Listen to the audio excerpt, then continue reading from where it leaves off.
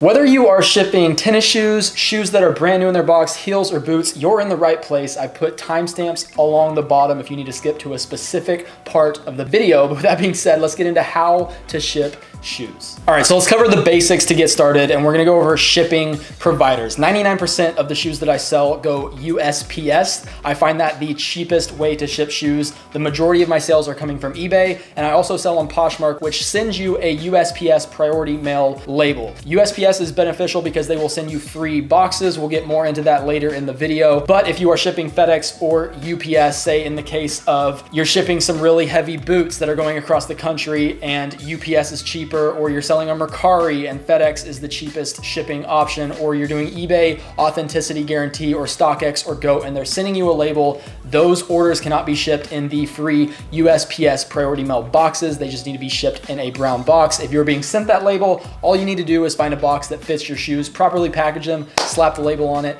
and you're good to go. Now that we got the carriers out of the way, let's go over the few supplies that I use to ship out my shoes. Obviously, we're gonna need tape and a tape, tape gun's not really super necessary. It's just gonna add a little bit of a convenience factor. Tape King brand is probably the cheapest option when it comes to tape. I can find this on Amazon. First off, everything that we talked about in the video will be linked down in the description below from the, the boxes that we use to all the supplies. You're going to need to know how heavy the shoes are that you're shipping. So you're gonna need a shipping scale. This one is only like 20 bucks on Amazon, a great option to get started with. You are going to need some scissors or a knife or something to modify the 1095 box that we use to ship shoes that are brand new in the box. Again, more on that later in the video. And then I just use packing paper as like a void fill for the boxes when I'm shipping shoes so the shoes aren't just bouncing around in the box. A main change from the last shipping video that I did where I was bubble wrapping shoes, I found that that was kind of a waste of time, a waste of money. So I'm just sticking to adding packing paper into the boxes. I haven't been bubble wrapping and I've had zero complaints. Again, shipped out thousands of shoes without a single complaint. So just sticking with packing paper. I get this from Sam's Club. You can also buy that on Amazon as well. And then lastly, I will mention that I do add a thank you card to all of my purchases. It's not handwritten like it was in the last video. This one is something that I got off Vistaprint. It has a simple QR code that sends them to my eBay store and gives them a little discount on their next order. So that gets tossed into the box. And then you will need something to print off your shipping labels. If you have just a regular printer and you wanna cut and tape, that's fine. If you live in an apartment complex and they have a business center, you can usually go down there and print out labels for free. But if you wanna take this a little bit more seriously, upgrade to a thermal printer. I definitely recommend the Rollo wireless or their wired version, whichever one works best for you. All right, supplies out of the way. Now we're on to the boxes and the envelopes that I use to ship out my shoes. First off, the most common box that I use is the simple USPS shoebox. It's literally called a shoebox on their website. If you go to store.usps.com, you can purchase, not even purchase, they're all free. You can order all of the boxes that you need and they will deliver them right to your door. Most of the boxes they carry at the post office are flat rate and we do not want to be shipping flat rate in most cases because the flat rate is typically going to be more expensive since our shoes are only weighing around two to three pounds. It's gonna be cheaper to ship regular priority mail versus using those flat rate boxes. But if you are shipping on Poshmark, I get a lot of questions about Poshmark shipping specifically, the labels that Poshmark sends you, you can use on those flat rate boxes. So say if you're only selling on Poshmark, most shoes will fit in like a medium or a large flat rate box. You can just go grab those from the post office and the Poshmark labels will work perfectly fine on those. In case you have an issue with the USPS workers, this happens once in a blue moon. It's stated at the bottom of the Poshmark label. You can just show them that and everything will be good to go.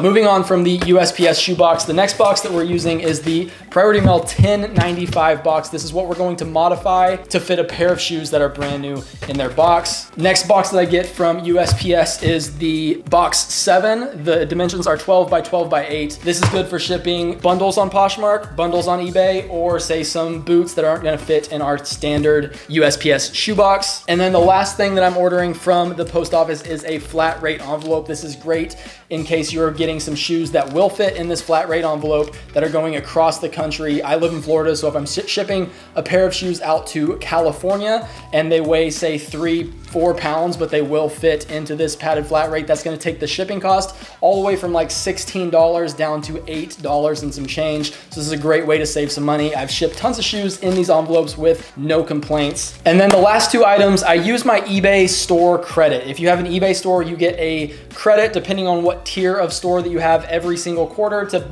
purchase shipping supplies directly from eBay, there's two things that I purchase from eBay every quarter. And that first off is this eBay envelope. I use this to ship out shoes that are first class. So say toddler shoes or flip flops or anything that is gonna weigh in under a pound that fits in this envelope. I can ship them out first class no issues. And then the other box that I'm ordering from eBay is this 16 by 12 by 8 brown box. This is great for, again, the bundles or say Western boots or just any, any big boots that isn't gonna fit in any of the other boxes we're talking about. Or if I need to ship something FedEx that is eBay authenticity guaranteed, this box is great for FedEx shipping. So now that we got the boxes out of the way, let's talk about individual shoes and how I ship those shoes. And we're gonna start out with the most basic ones, just a regular pair of tennis shoes or sneakers. For these, nine times out of 10, unless they're like a men's size 18 and bigger, these are always gonna fit perfectly fine into that USPS shoebox that I mentioned earlier. I don't think I need to show you guys how to tape up a box, but we're gonna tape up the first side of the box. And then from here, I basically go packing paper, shoes, packing paper, and I'll slide my thank you card in the side. One thing that I do note, I don't know if this is something that I actually need to worry about, but whenever I'm putting my thank you card into the box, I'm always making sure that the ink is facing away from the shoes, just in case it's hot outside and the ink tries to rub off on some shoes, it's not going to rub off on the shoes, it's gonna rub off onto the box. So the way that we're doing this is, again, piece of packing paper, sticking this in, I just put the shoes together just like this, how they would be in the box. If you bought a pair of shoes brand new, they're gonna be sitting in like this. We're gonna drop them right in the box. Um, again, thank you card, ink away from the shoes. Packing paper.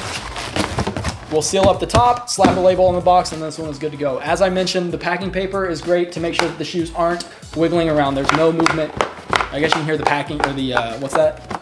The thank you card in there bouncing around, but the shoes are nice and stable inside the box. Now for the example of those regular tennis shoes that are going across the country and they weigh more than like two or three pounds and the shipping is just astronomical. If they're gonna fit into a padded flat rate, that is the best option. I simply just toss the shoes in here with a thank you card and that is a perfectly fine way to ship. Again, never any complaints. I got these vans as an example. Typically vans are gonna be around the three pound mark. And if these are going to California, this is a smaller women's size. So it's gonna fit in this padded flat rate pretty easily. So we'll just slide these in. Shoes are in there nice and secure. I'll take that thank you card, slide it again, ink away from the shoes, slide it on top of the shoes. And then these padded flat rates have this strip on, on the top we just peel that bad guy off of there. And then fold this over. Again, folding it over as tight as possible to make sure the shoes aren't like super loose in there. The padding on this is good enough to keep the shoes protected on their way to the buyer. That is how I use the padded flat rates. Again, this is great for if you're if if you have a pair of sandals that fit in here that are over a pound. Pretty much anything that will fit in this padded flat rate envelope, please do not be afraid to use it. It's going to protect the shoes more than enough. We need to remember that these are, these are items that are being worn on people's feet. They're literally walking around on them all day long. So shipping them in a padded flat rate isn't gonna do any damage to them. Now let's move on to shoes that are brand new in their box. This is what that Priority Mail 1095 box is gonna come in handy for. As you can see, both sides of the box have one side that has two red lines on it. Over here, it's this side, and on this one, it's this side. These are the sides that we need to pay attention to. We're gonna lay this box flat on the table and take our shoe box and line it up with the edge of the box that has the two lines on it. And then we're gonna take our scissors or our box knife or whatever we have, and we're going to score this box. We're not gonna cut all the way through. We just need to create an indentation so the box can fold in on itself. I'm gonna score a line all the way down this box that is the same width as the shoe box that we are shipping. Flip the box over and do the same thing on the other side. And then we will literally just fold the box in on those lines that we just created. Next step we need to do is to cut the box down to the flap so the box will fold shut. We'll do that on both sides of the box. Go ahead and tape one side shut. And then the box should fit perfectly in to the box that we just created. And then I will just fill up the extra void inside this box with packing paper to make sure that box isn't wiggling around. Drop in that thank you card, close up the top, And then the one last step on this is I will throw a piece of tape on the edge that we created with the scissors just to make sure that we keep the integrity of the box on those edges that we scored. So I'll go ahead and do that to show you guys an example. Just a little piece of tape right there and simply doing that, I've never had any issues shipping this box out. Now, say you have a pair of high top sneakers or a pair of like high top hiking boots or something that is a little too big to fit inside the USPS shoebox. That is another great option for this modified 1095 box. Again, if you just skip to this part in the video, go back and watch how we modified this on a brand new in the box pair of shoes. If you don't have a pair of shoes that are brand new in the box to modify this, you can literally take the USPS shoebox, lay it flat on its side, and use it in place of the shoebox when we were modifying that box. And then once you have that box modified, for example, these high top Nikes that would not fit in a regular USPS shoebox will now fit nicely inside of this box right here. And then again, we'll just toss some packing paper underneath and on top of those shoes, fold it up with our thank you card inside, and then that one is also ready to go. Now with kids shoes or some lighter sandals slash flip-flops, a lot of those are gonna weigh in under one pound, which would be classified as first class mail through USPS. Only caveat is you cannot use the priority branded mailers. This again is only for priority mail. That is why I use that eBay store coupon to buy these padded envelopes. So if I have a pair of kids shoes or a pair of sandals that weigh in less than a pound instead of paying for priority shipping which is going to cost again between 8 to 12 dollars i can just take these shoes and just like we did with the sneakers in the padded flat rate envelope we'll stick them into this padded envelope that is not flat rate with our thank you card on top and then we will seal this shut, making sure it's tight, keeping the shoes in place in there, and then we can ship this first class, and that's typically only gonna cost us between four to seven dollars. This is an easy way to save money and make sure that your profits are there on the cheaper kids shoes. One thing that I will note though is when you are when I'm personally shipping shoes in the envelopes, it's on lower dollar sales. Say shoes that are in the 20 to like $35 range. Anything over $35, my profit is typically enough to justify going ahead and sticking it into a box. Again, I've never had anybody complain about shoes being shipped in the padded envelope, but I just wanna provide a little bit better customer service on the shoes that are selling for a higher dollar amount. And since my profit is there, I don't need to save a ton of money on shipping. I'm not pinching pennies on those sales, so I will go ahead and stick them in a box to ship. But using the flat, the first class envelopes as well as the padded flat rate is an easy way to save money. Now, moving on to heels or nicer leather shoes that we don't wanna scuff against each other in the box or anything that has like some embellishments on it that would get caught on each other if they were just free to wiggle around in the box. These are just like regular tennis shoes. We're using the USPS Priority Mail shoebox. We are, just like the last time, putting a piece of packing paper in first. Only difference here is I'm taking an additional piece of packing paper and wrapping each shoe individually to make sure that they're not rubbing up against each other in shipping.